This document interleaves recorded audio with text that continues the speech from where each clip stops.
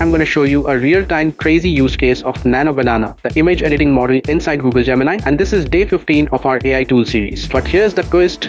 Today, the images themselves will tell you the story as I am using Nano Banana with VEO3. I asked Nano Banana to recreate my image with long hair, a nice mustache and beard without distorting my real face and this is what it did. And then I asked Nano Banana to place me in a jungle where it's raining heavily and as you can see, now I am in a rainy jungle talking to you. Then I asked, what if I were a woman? This awesome Nano Banana recreated my female version. Isn't it crazy? I also wanted to see different facial expressions of myself, so I asked for happy, sad, confused, serious, excited, and surprised. All looked real. Next, I asked it to blend all styles and make me wear that dress combination, standing confidently in front of the car shared in the image.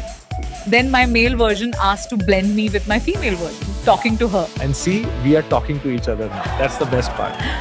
I uploaded an old photo and asked Nano Banana to restore it as a modern 2025 image without losing the real people. Nano Banana also edited me with less hair, a broad mustache and a thick trimmed beard as I want. Here's the result. I hate this look.